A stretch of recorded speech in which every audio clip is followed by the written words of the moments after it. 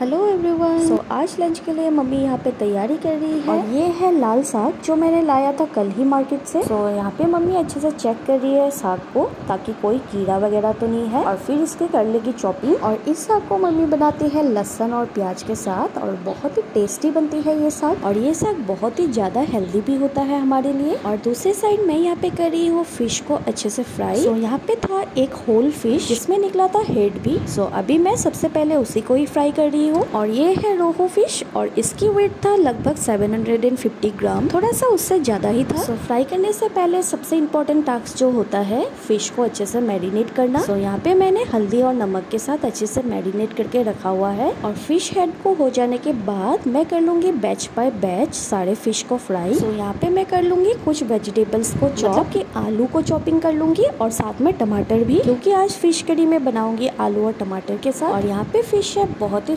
Fresh और हमारे यहाँ की लोकल फ़िश है ये। अभी मैं कर रही हूँ यहाँ पे दूसरा बैच फ्राई और फिर बचेगा और एक बैच और उसके बाद हो जाएगा सारा फ़िश फ्राई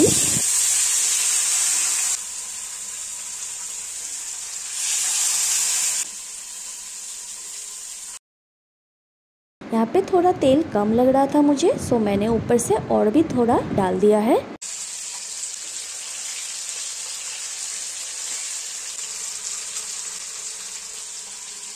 तो यहाँ पे आप देख सकते हैं ऑलरेडी एक दो बैच मैंने निकाल के रखा हुआ है फ्राई करके। मैं फ़िश को हमेशा थोड़ा सा कड़क फ्राई करती हूँ यानी कि थोड़ा सा डीप फ्राई करती हूँ। और सब्ज़ी जो मैंने काटा था ऑलरेडी मैंने सारी सब्जियों को धो भी लिया है। मैंने यहाँ पे चॉप करके रखा हुआ है एक बड़ा साइज़ का प्याज। और इसे मैं कर लूँगी थोड़ा सा रासली पेस्ट गाइस यहाँ पे फ़िश का कलर देखिए कितना अच्छा आया है। और बस ये थोड़ी ही देर में होने ही वाला है। और फाइनली यहाँ पे सारे फ़िश को मैंने ऑलरेडी कर लिया है फ्राई वो भी क्रिस्पी फ्राई और अभी मैं बना लूँगी झटपट फ़िश की कड़ी और फ़िश मैं यहाँ पे यूज़ करूँगी ओनली थ्री पीस और बाकी का रख दूँगी ठंडा होने के बाद फ्रिज में। और गाइस मैंने यहाँ पे चढ़ा दिया है कढ़ाई। और अभी कर रही हूँ अच्छे से भुनाई सारे मसालों की।